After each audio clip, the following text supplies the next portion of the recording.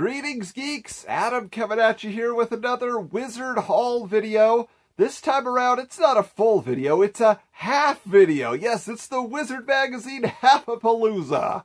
Why Half-a-Palooza? Well, this is a situation where, as we've been focusing on expanding the archives, you know, we've almost got a full run of the magazine. We're just filling in the various, you know, variant covers and things like that. But the thing that was also coming inside those issues of Wizard Magazine were special coupons, right? Special half-issue comic offers exclusively brought to you by Wizard Magazine in collaboration with various publishers. It started with the Max one half issue. Some people say one half, some people say half. I like to say half.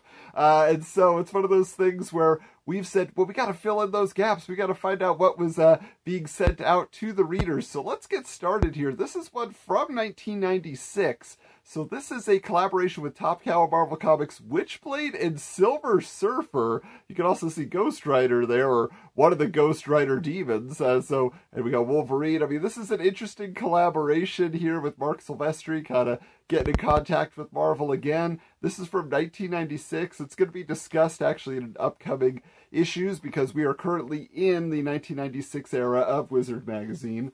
Uh, on the other side of the image, uh, you know, founders, we have Divine Right. Okay, so this is a big crossover that Jim Lee was trying to do at Wildstorm.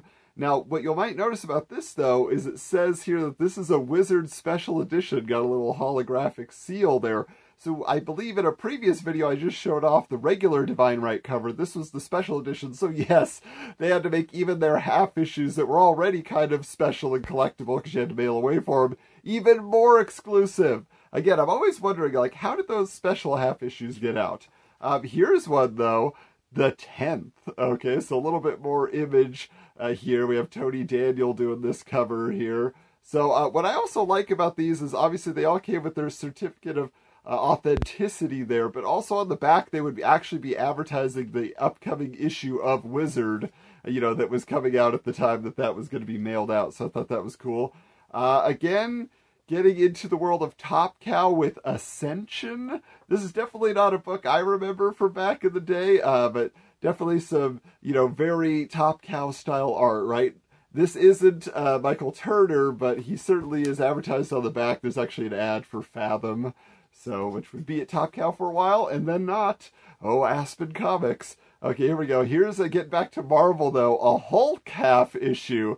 This one just always stood out to me. I believe this artist's name is Scott Lee or something like that, but just this intensity of this Hulk. It's got that classic look to it, a little bit cartoony, kind of kind of caught my eye there. Now this one definitely caught my eye because this is a Joe Quesada Iron Man cover, Invincible Iron Man, right? Uh, so this is actually something where Joe Quesada wrote this issue, but he didn't do the interior art on it. But of course, Joe Quesada, a big friend of Gareb Shamus and the Wizard family here. So eh, I love looking at this electricity and all these things flipping around here because that's very Joe Quesada, right? That's that's starting with Ninjak with like the ribbon things, but then even more so with Ash. You know, it's just like, yeah, he's got some glowing gauntlets. We know where you live, Joe. Okay, this is really interesting because Vampirella was another character, especially the Bad Girl era, featured heavily in Wizard Magazine. But uh, by the late 90s, they had revamped her with Kevin Lau. This is interesting. He actually has his signature right underneath the, you know, the title there and, and down here as well on the uh, other part of the cover there. So this is Vampirella imagined as kind of like a manga futuristic story. I'll be interested to cover this when the time comes. They tell you on the back, the future is now, harriscomics.com, you know, the website. Uh, everybody had to have a website. That made you cool in the late 90s. Check this one out, though. A little Tomb Raider action from Top Cow. So there were actually quite a few Tomb Raider half issues that were released. Lara Croft, very popular with the fan base. But also, there were Tomb Raider Witchblade crossovers. I mean, there was all sorts of stuff going on. So, found that interesting. Now, here's another name that becomes very popular in Wizard eventually. Brian Michael Bendis with Powers. But if you look at this, this is a Wizard Special Edition. Look at that gold. Yeah, we got a gold logo there. So, Powers, I remember being a very, very big deal. It was very heavily promoted in Wizard. People thought it was fantastic. And of course, Brian Michael Bendis then goes on to do not just creator owned stuff, right?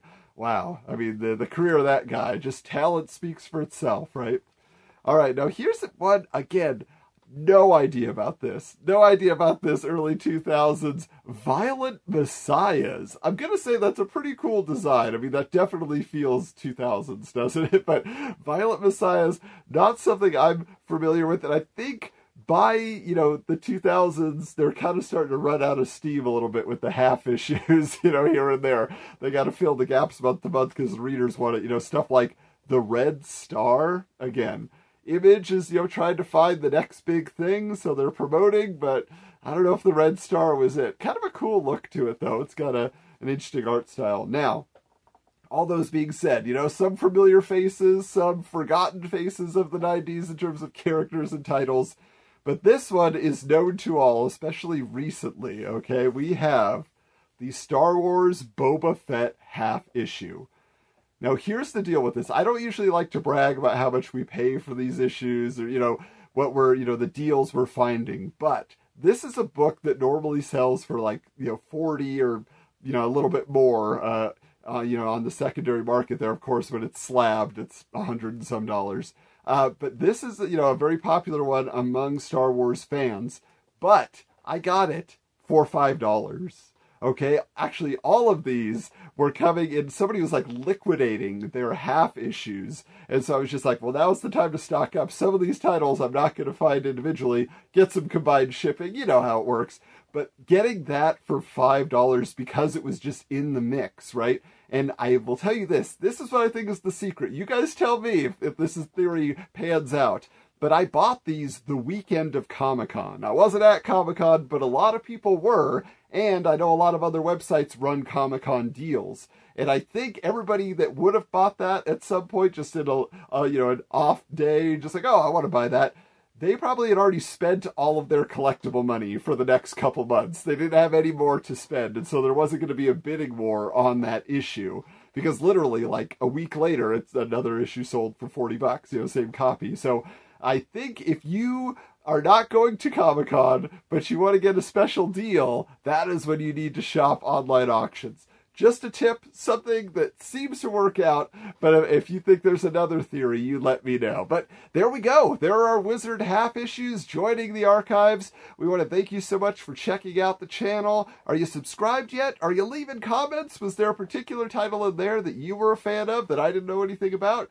give me the heads up. We love to hear it. Of course, we want you to find us on social media at Wizards Comics, on Instagram at Wizards underscore comics. Stay tuned, stay informed. We got a lot more 90s comics nostalgia heading your way. But in the meantime, keep your books bagged and boarded.